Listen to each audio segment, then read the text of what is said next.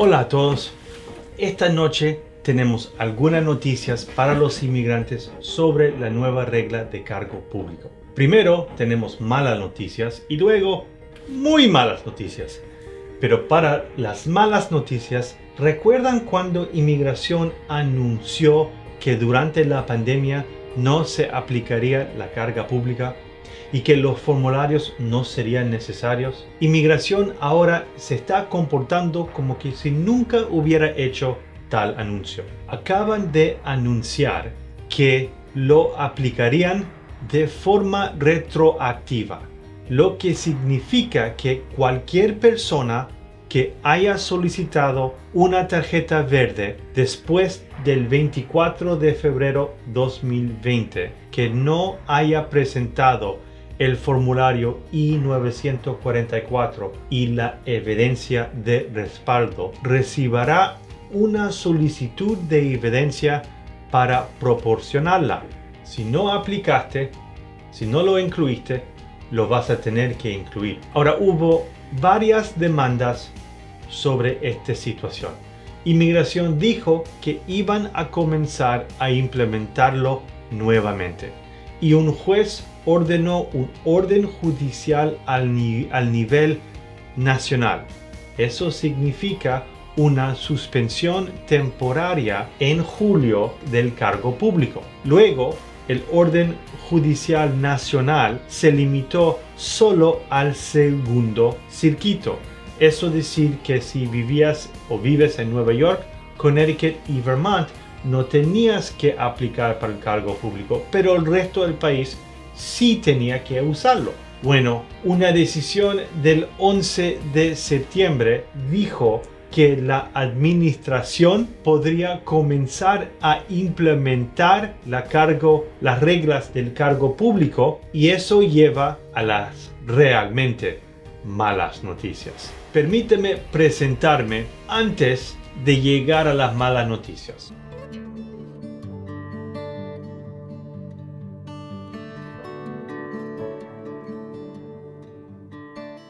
Mi nombre es Andrés Mejer, soy un inmigrante como tú. Me convertí en abogado para ayudar a los inmigrantes. Mi objetivo es ayudar a 5.000 inmigrantes a obtener su estatus legal en los Estados Unidos en los próximos 5 años. Sí es cierto que abajo de esta administración lo están haciendo más difícil lograr estatus legal pero sé que todavía podemos hacerlo.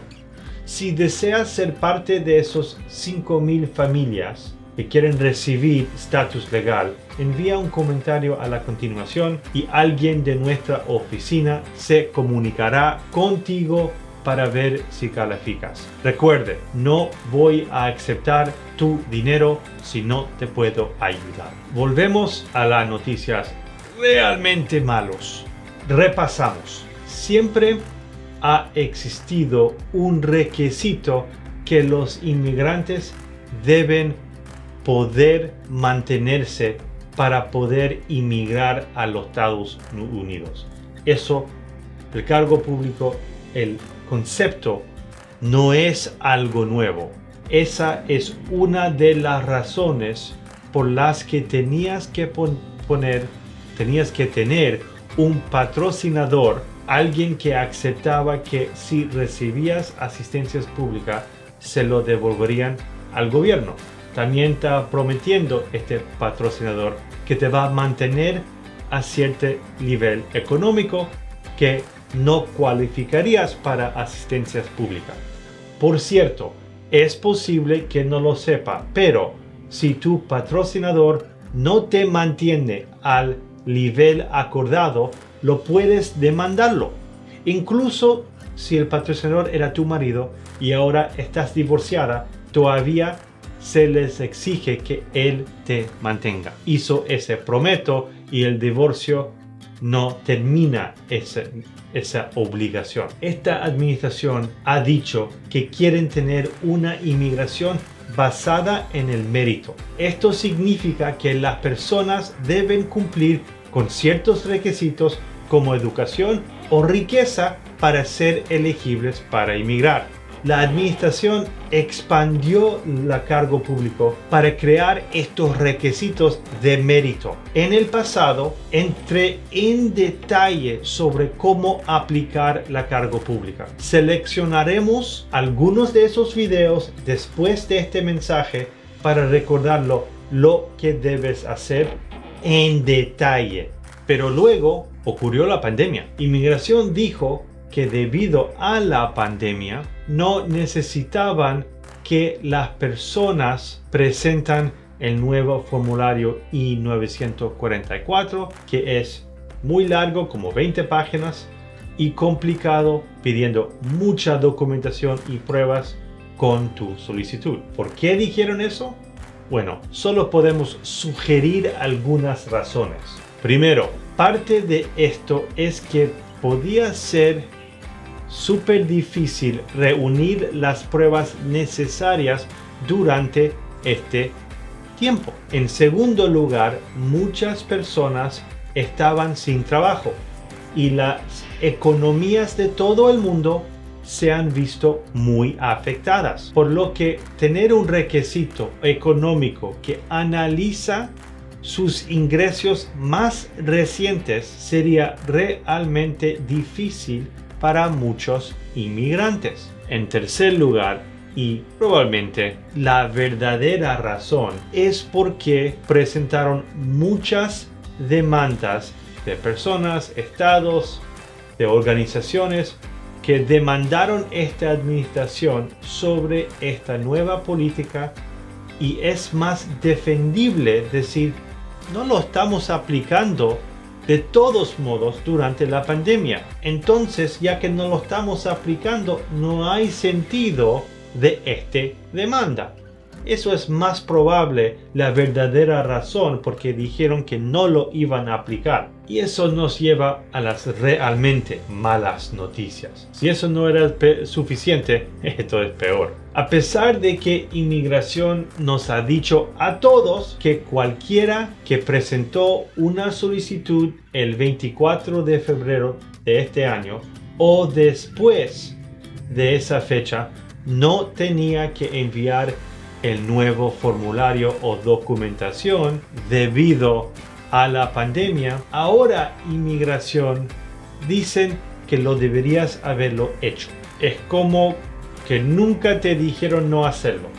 Por lo tanto, si solicitó un beneficio de inmigración, como un green card, la tarjeta verde con el formulario I-485, que requiere el formulario I-944 con las evidencias de respaldo y no lo incluiste, vas a recibir una solicitud de evidencia, indicando que ahora sí tienes que responder y incluir ese formulario con todas las pruebas.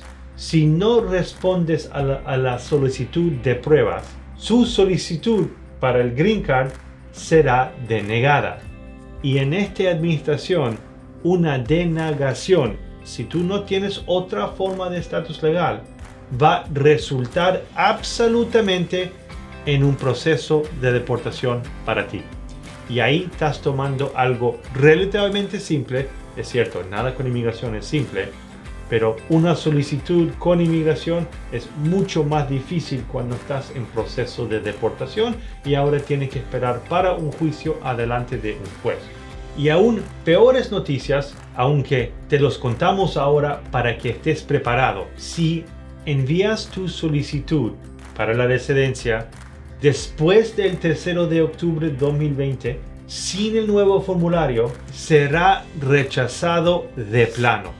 Eso significa que inmigración no considerará su caso en absoluto y te van a poner en proceso de deportación si no mantienes algún estatus legal en ese momento. Recuerde, para rematar las malas noticias, las tarifas de presentación aumentan el segundo de octubre del año 2020. No sea rechazado por presentar una tarifa incorrecta y está subiendo los precios en casi cada solicitud, presta atención. Si no ha reunido los documentos para el nuevo formulario I-944. Consíguelos ahora. No esperes para la presentación que te van a pedir más información. Te digo ahora, lo vas a tener que hacer. No esperes al último momento porque toma mucho tiempo. Le recomiendo que hables con un abogado de inmigración para este nuevo formulario. Es largo e, y es complicado y no desea completarlo incorrectamente. Los videos que vas a ver ahora no lo filmé hoy, pero incluyen la información sobre la regla de cargo pública y cómo afectará su viaje de inmigración.